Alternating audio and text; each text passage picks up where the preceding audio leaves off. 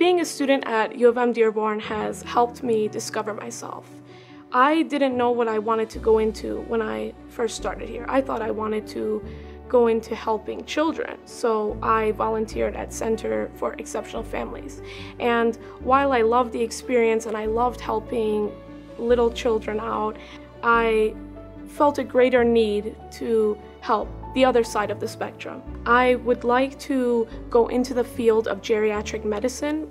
I feel as though as the generation that I'm in and younger generations to come that we need to focus on treating the elderly population better and give them better health care because we have so much to learn from them and that is something that is a core value to me. I think I became a U of M Dearborn difference maker because I found my passion and I didn't let any challenges in life deter me and that is what I hope to show the world when I go into medical school and become a physician.